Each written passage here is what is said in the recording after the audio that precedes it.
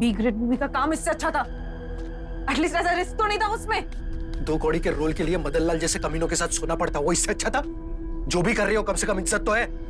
गोविंद इज़्ज़त ही सब कुछ नहीं होता। इज़्ज़त के अलावा भी बहुत कुछ चाहिए होता है। छोड़ा है मैंने तुम्हें? हुँ? छोड़ा है मैंने तुम्हें? अगर इतनी याद आ रही है ना फ़िल्म लाइन की तो जा।